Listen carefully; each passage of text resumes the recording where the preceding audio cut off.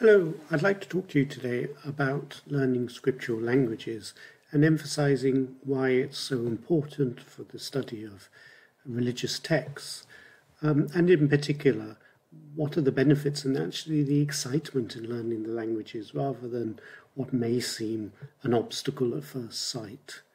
Um, I have here on the screen the four key languages that we teach in the faculty Initially, the manuscripts, such as we see here, all look beautiful, but also might look a little intimidating. But you should bear in mind, for many of these languages, the alphabet is no longer than the alphabet for English. So Hebrew on the right here only has 22 letters, four fewer than English, and Greek on the left only has uh, 24 letters.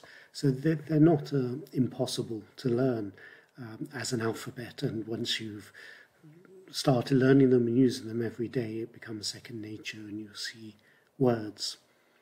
But I want to think about what language does and why it's so important to learn the ancient languages to get behind the mentality of the people writing the texts and what the texts really mean. You will often hear stories about a particular word having some deep hidden meaning, and that sometimes can be true, but is often used more mythically than in reality. Um, stories such as four words for love in Greek um, may be true on one level, but doesn't take us very far. So I want to think about language beyond the word level, although we will return to a word at the end, and think about what language does and how it communicates. Let's begin with a simple sentence. The boy is holding a yellow pen. The beauty of language is that we can read a sentence like this and know immediately what it says, even if we've never heard the sentence before. Indeed, this is the first time I think I've ever said this sentence word for word precisely as it is. And that's how language works, that we know the rules, and once you know the rules, you can construct an infinite number of sentences. It's also a meaningful sentence. It may be that in this picture the boy is actually not holding a yellow pen, it's a green pen, uh, but actually the sentence still makes sense, even if it's factually incorrect. Something some of you will have explored in philosophy of language and its relationship to God. Another way of saying it is the boy is eating a yellow pen. Now, this is an unlikely sentence, but it shows how grammar works. The grammar still is meaningful, the sentence still has meaning. And the reason why we say it's unlikely is because in the real world you are unlikely to eat a pen. But grammatically it still works. Let's take another sentence. The boy is reading a yellow pen. Now, one might reinterpret this and say that they're really reading the text on the pen. But actually, if we take it as a simple sentence, we would say the sentence does not work. The sense makes no sense because reading implies something written. Uh, read a book, you read a letter, you read a text. You don't read a pen.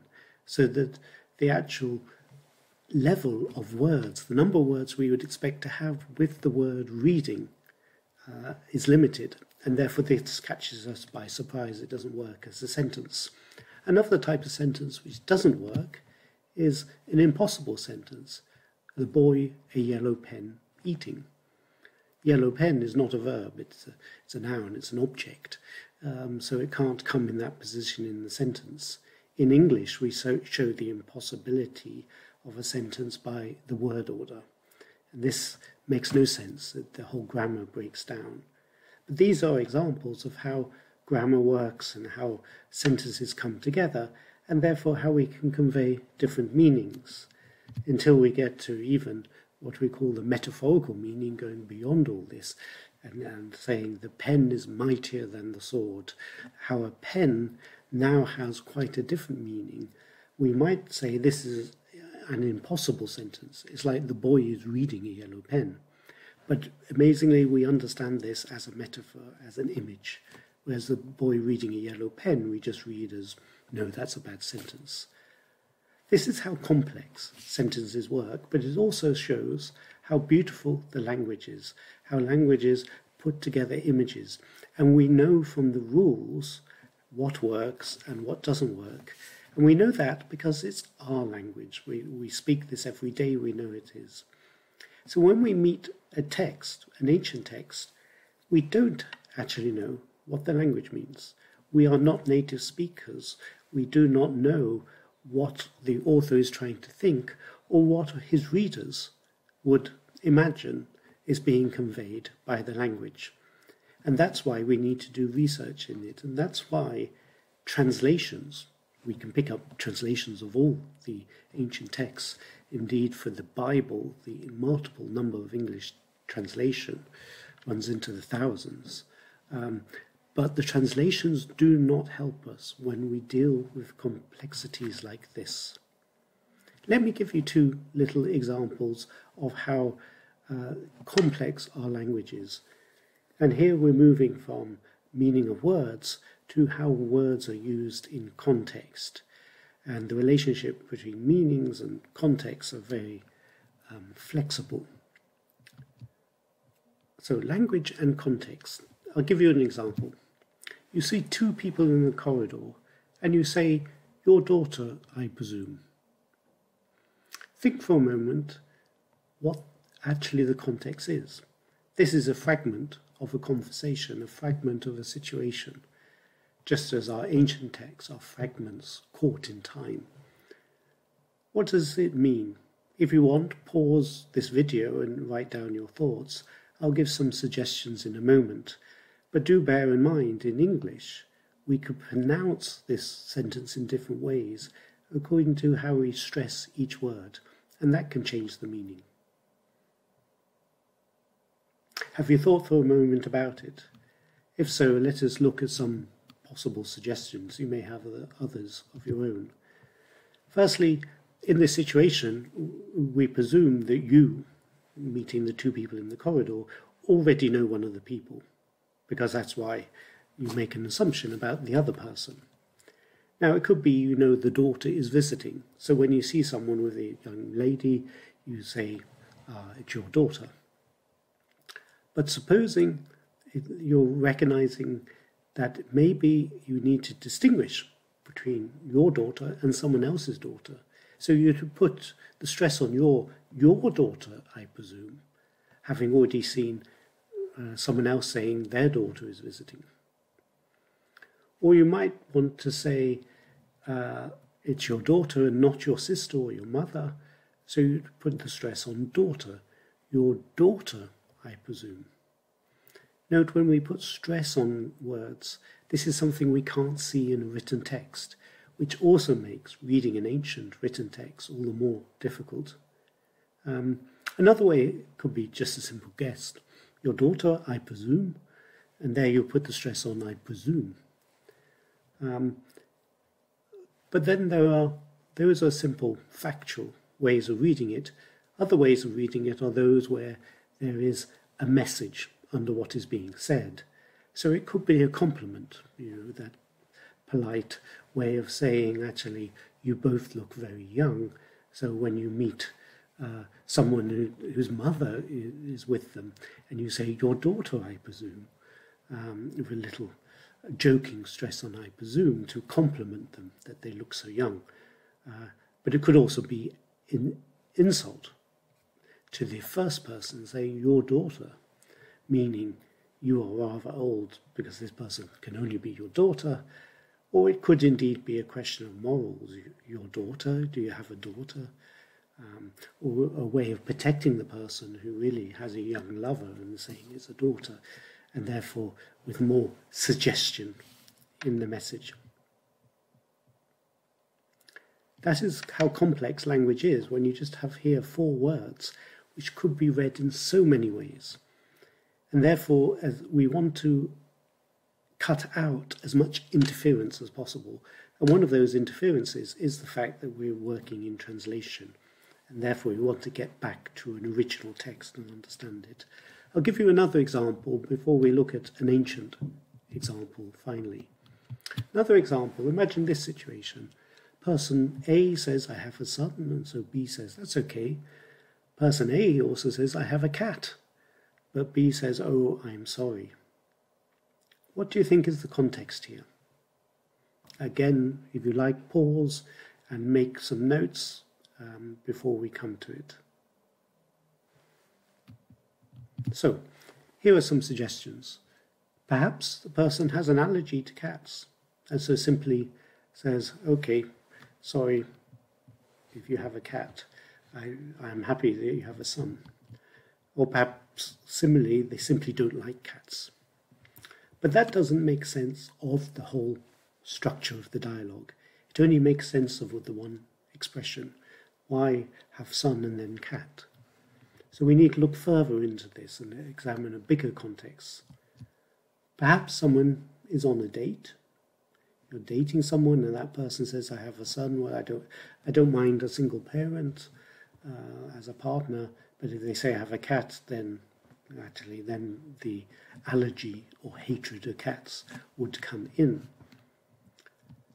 But perhaps a better explanation is someone is renting a room. I want to rent a room in the house. I have a son, that's okay, we'll allow children in the house, but I also have a cat. Sorry, I don't allow cats in the house.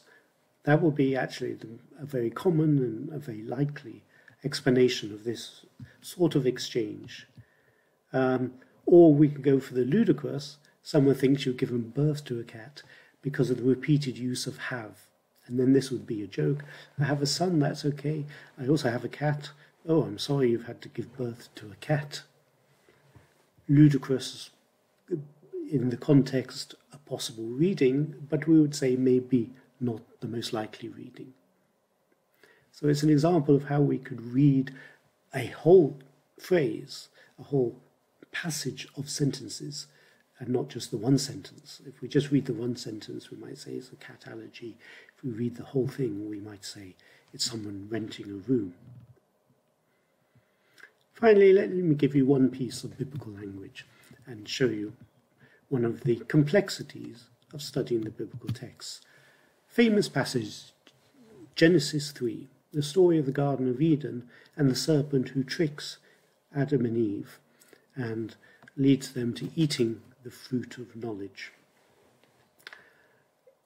In Genesis 3, the serpent is introduced. Now, the serpent, the now here just indicating uh, the opening of the story, the serpent was more crafty than any other wild animal the Lord God had made. This is the NRSV, the New Revised Standard Version, a very common English translation. If we turn to the Hebrew, here I'll give you a Hebrew word. The Hebrew word is arum, crafty. Here we can see the Hebrew word. I've written it in, uh, um, in, in, in, transliteration as arum. Um, you can see the Hebrew letters down here in red with the English equivalents. You'll notice there's some similarity between English and Hebrew in the sense that the R letter is really like a reversed R, and the M is square like an M if you took the outline of an M. So we're not a million miles away from similar, similar letter forms. But the important thing here is the word arum. Now it can mean intelligent or crafty or clever. And that's ambiguous, just as in English the word clever is ambiguous. If you're clever, it means you're intelligent. But clever can also be clever, uh, too clever for his own good. Clever can also be negative. It's intelligence which can lead to mischief or misdeeds. And that stretching in senses in English is also reflected in Hebrew. We have this stretching of senses. So in Job 5 here, we have the schemes of the crafty. Their hands shall not produce what is genuine. There, the word arum refers to crafty in a negative sense. But then in Proverbs, it means something positive. Every smart person, intelligent person, acts with knowledge. So the word has this double meaning in Hebrew. It's interesting to think is Genesis 3 really to be translated as crafty? As I note here, the intelligent is the translation of the Greek. If you know Greek, the word is phronimos, which means wise, in a positive sense. So the Greek translation, which first read the Hebrew in the 3rd century BC, saw this as a positive intelligence. The serpent was intelligent more than any other creature. And perhaps that's how we should think about it, not as uh, a negative. Um, and then we have to read the story in that light. A further and final little point about this example is that um, when we continue reading the story about Adam and Eve, they famously, once they eat of the fruit of the Garden of Eden, they realize they are naked. And indeed, the word for naked is very similar to the word for crafty or intelligent. And the man and his wife were both naked and were not ashamed. Genesis 2, the word for naked is arom. Um, very similar to arum and, and sounds very similar. And probably the author, in writing this text, was trying to make a connection here that the intelligence of the serpent led to realization by Adam and Eve of their own condition, and that is condition of being naked. And in that way, Adam and Eve actually become as intelligent as the serpent. Uh, and so this wordplay may well suggest that the word arum means intelligent and not crafty. And therefore, we shouldn't follow the NRSV translation in understanding this in a negative way, but perhaps understanding it in a positive way. And that is why the serpent is so successful, because he is so intelligent. So there you have one Hebrew word that I've taught you, if you can remember it, arum, intelligent or crafty, depending on the context. And it's a reminder of how complex context is when reading ancient texts, and therefore we need to read them in the original languages to have a better sense of all the complexity of these wonderful ancient writings. Thank you.